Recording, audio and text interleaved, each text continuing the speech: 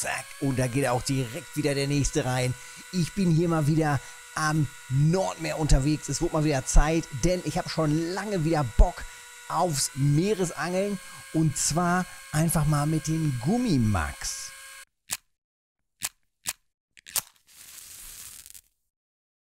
Ja, es wird mal wieder Zeit fürs Nordmeer mit Gummimack hier. Und zwar am 80 Meter Loch an der 80 Meter Sandbank. Und äh, hier jetzt gerade verschiedene Gummimax schon getestet. Und mittlerweile, und jetzt ist das der zweite, dritte Auswurf, einfach nochmal eine Nummer größer reingegangen. Nochmal die größeren Gummimax im Test jetzt.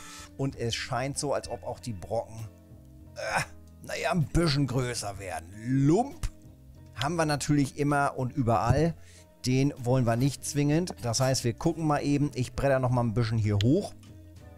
Das heißt, wir korrigieren nochmal eben den Spot etwas.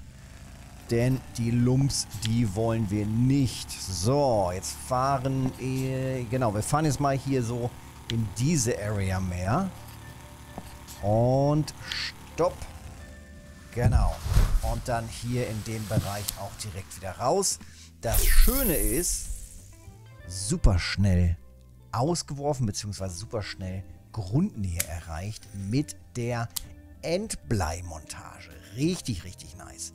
Gerade im Chat hat der Wenks auch noch geschrieben, ähm, dass er hier unterwegs ist am 80er.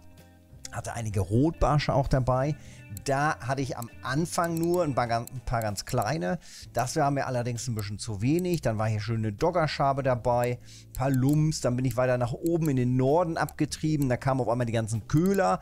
Da bin ich dann natürlich wieder schnell weg. 3,4er Dornhai ist natürlich auch nicht schlecht. Die nehmen wir doch gerne mit.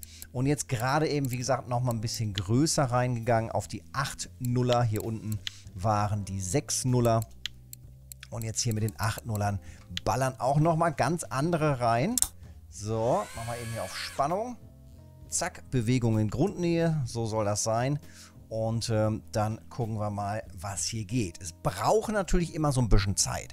Also mit dem Gummimark angeln einfach nur so, ohne Pilker, einfach nur mit der Endbleimontage bedeutet bommeln lassen das Ganze. Einfach nur hängen lassen, vielleicht mal zwischendurch so ein bisschen Gezuppel aber eigentlich Bewegung in Grundnähe und gut ist. Und dann heißt das ein bisschen abwarten und hoffen, dass da wieder was reingeht. Man kann natürlich auch so ein bisschen Bewegung noch irgendwie machen. Manche äh, ziehen das ja so von links nach rechts oder laufen so ums Boot herum. Aber ich denke, einfach so über die Zeit wird da schon einmal wieder was reingehen. Und äh, bisher war das auch so. Klar, es waren auch mal zwischendurch zwei, drei Minuten, wo man nichts ging. Also nicht so richtig im Minutentakt, dass hier was reinballert.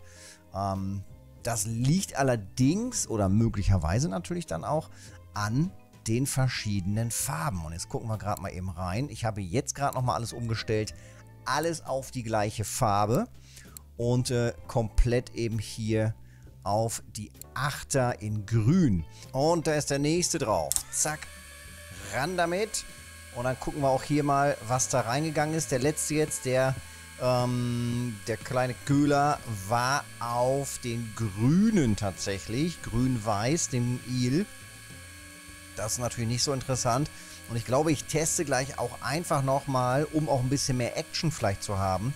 Einfach nochmal eine andere Montageart und nehme dann hier mit den Seitenarmen dann einfach nochmal die Gummimax mit dran. Vielleicht einfach mit dem Pilker. So, was haben wir hier? Steinköhler. Nicht schlecht, nehmen wir gerne mit. Steinköhler immer ganz gut, auch von der Kohle her. Also das lohnt. Ähm, gucken wir einfach hier mal eben. Wir bauen mal gerade um.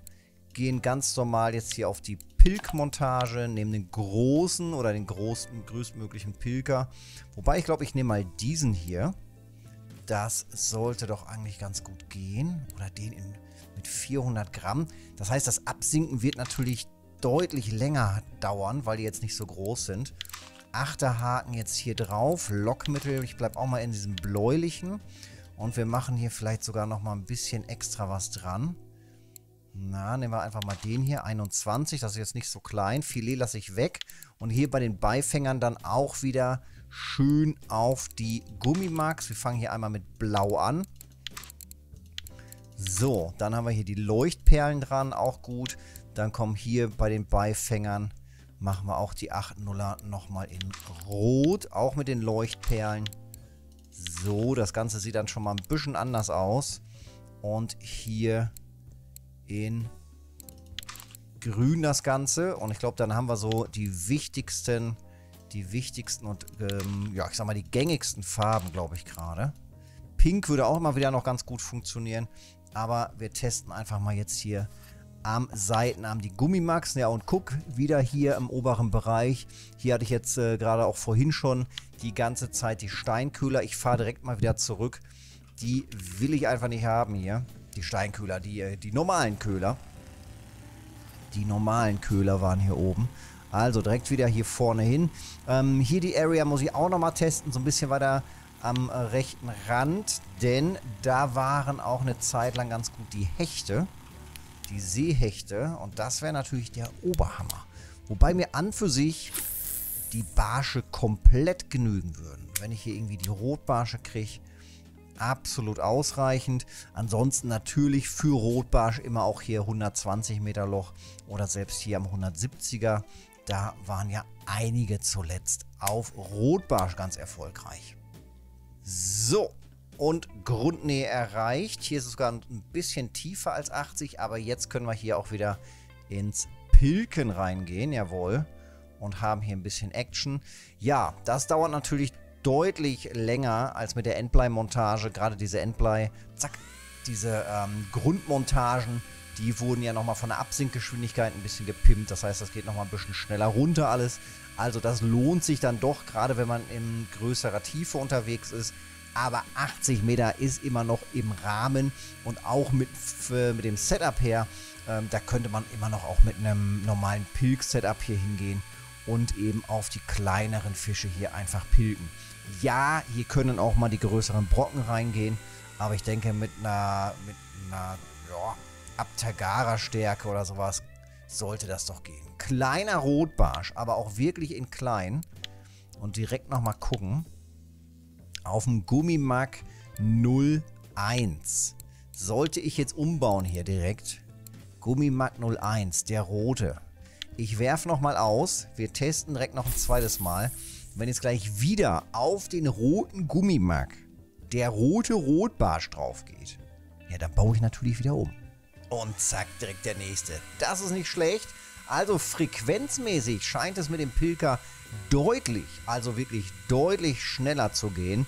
Ähm, also wenn mit Gummimack, dann vielleicht doch lieber mit dem Pilker, dass man eben hier auch pilken kann und dass da wirklich auch irgendwo eine Aktivität herrscht oder zumindest eine Art Führungsstil, dass man sagt, yo, alles klar, ich pilke hier mit Gummimack, denn mit dem Endblei, hm, naja, so drei Minuten warten auf einen Fisch oder mehr ist schon wirklich viel. Das ist schon wirklich viel. Und gerade wenn dann irgendwie welche, ja, ich sag mal, irgendwelche untermaßigen oder kleinen Fische rangehen, dann lohnt es sich ja noch nicht mal mehr, ne? Also, im Großen und Ganzen kann das schon richtig geil sein mit den Gummimax. Aber wie gesagt, ich glaube, na guck, ich glaube am ehesten eben mit der Pilk-Montage. Einfach hier Pilk-Montage wieder Main und dann gib ihm. Theoretisch könnten wir jetzt natürlich auch hier wieder einen richtig großen Brocken dranhängen. Ähm, nehmen wir mal hier den Jigmeister zum Beispiel. Gehen hier auch richtig gut und groß rein. Wir haben ja hier immerhin ein großes Setup. Also testen wir das Ganze auch. Und hier nehme ich einfach mal einen 15er in schwarz mit dran. Silbrig-schwarz hier gerade unterwegs. Zack. Und dann fliegt das Ganze eben auch hier, je nach Setup natürlich, aber deutlich schneller nach unten. Ne? Wenn man hier mit einem Kilo an Gewicht dran ist, dann läuft das natürlich. Boom, jawohl. Und direkt erstmal reingehen hier. Da hat einer auch ein bisschen mehr Bock. Jawohl. Nehmen wir also auch gerne mit. Gucken wir mal. Also, auf dem Pilker jetzt hier mit dem Silbrigen scheint es auch richtig gut abzugehen. Ähm, ich würde sagen, beste Methode, wenn mit Gummimark, dann am besten mit dem Pilker. Denn da ist einfach ein bisschen mehr Action. Da geht einfach mehr. Alter Falter. So, gucken wir mal, was jetzt hier noch dran ist. Hoffentlich nicht schon wieder einen Oller Lump. Die reichen doch mittlerweile. Ja, und so kann man dann, glaube ich, auch schön hier aufs 120er. Auch da werde ich gleich mal testen. Aber 80er, schön in Grundnähe, hat auch bisher richtig gut geklappt. Und äh, ich werde hier, ja, eins nach dem anderen durchmachen, eins nach dem anderen durchziehen. Und wie gesagt, jetzt ah, ist erstmal wieder Gummimarkangeln dran. Äh, und Lumpangeln. 10 Kilo, verdammter Lump. Ja, wenn es dir gefallen hat, Daumen da lassen, Kanal abonnieren gefällt mir und dann sehen wir uns im nächsten Video oder im Livestream auf Twitch. Montags, Mittwochs und Freitags immer live ab 19 Uhr und auf YouTube auch zur gleichen Zeit, Montags, Mittwochs und Freitags live auf YouTube. Bis dahin.